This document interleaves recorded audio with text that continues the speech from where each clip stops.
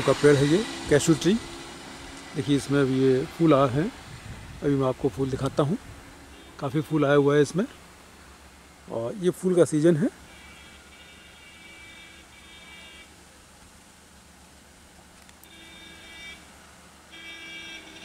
काजू का पेड़। ये देखिए, इसमें काफ़ी फूल आए हुए हैं। ये फूल रहा है। काजू का पेड़ है। ये देखिए, फूल है।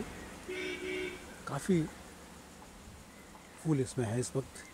ये जून, जुलाई में इसमें आएगा फल।